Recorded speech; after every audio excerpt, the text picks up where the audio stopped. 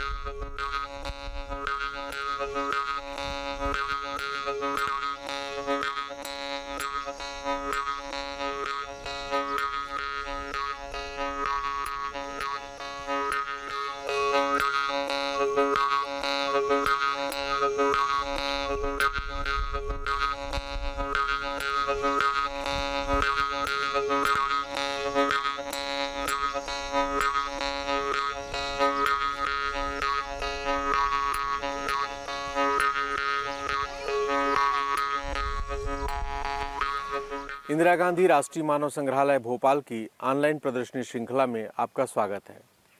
आज मैं आपको राजस्थान की छतरी, या जिसे अंग्रेज़ी में सेनोटॉप्स कहते हैं, उसके बारे में बताऊँगा। एवं आप इसका वीडियो देखकर छतरी के निर्माण एवं महत्ता के बारे में भी जान पाएँगे। राजस्थान के जैसलमेर में निवासरत राजपूतों के मध्य छतरी निर्माण की परंपरा का निर्वहन दृढ़ता से किया जाता रहा है। ऐतिहासिक प्रमाणों के अनुसार छतरी निर्माण की प्रक्रिया छठवीं शताब्दी के आसपास प्रारंभ हुई। ऐसे संरचनाओं के निर्माण का उद्देश्य मृतकों की यादों को संजोना तथा उनकी स्मृतियों को अमृत प्रदान करना था। ये छतरियाँ मृत आत्माओं के प्रति लगाव एवं संतान की कर्तव्य परायणता एवं निष्ठा का प्रमाण देते हुए भावी पीढ़ी का मृतक की स्मृतियों को जीवंतता प्रदान करने की परंपरा का निर्वहन करती ये छतरियाँ समृद्धि और अलंकरण के प्रतीक हैं। ये अमूल्य हैं।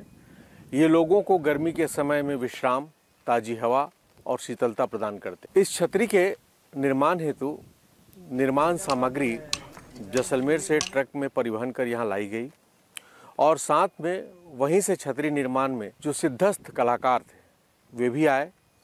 इन कलाकारों ने छतरी के विभिन्न भागों को यहाँ पर तरासा और छतरी के निर्माण की प्रक्रिया प्रारंभ इस छतरी का निर्माण ज़मीन से पाँच फीट की ऊंचाई पर आयताकार चबूतरे के ऊपर किया गया है। अष्टकोनी गुंबदनुमा कलश, आठ गोल नक्काशीदार खंभों पर अवस्थित है। गुंबद के केंद्रीय भाग में कमल की आकृति उकेरी गई है, जो कलश तथा उसके आठ भागों को एक दूसरे से जोड़ती है।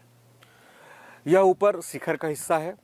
गुंबद के आंतरिक भाग में नक्काशी की गई है, एवं बाहरी हिस्सा गोलाकार है। यह राजपूतों के वास्तु कौशल एवं सुंदरता की मिसाल है, जो भावी पीढ़ी में अपनी भव्यता एवं महत्ता को प्रतिध्वनित करती है। इस श्रृंखला में बस इतना ही, और नई जानकारी के लिए आप जुड़े रहिए इंदिरा गांधी राष्ट्रीय मानव संग्रहालय के साथ। नमस्कार, धन्यवाद।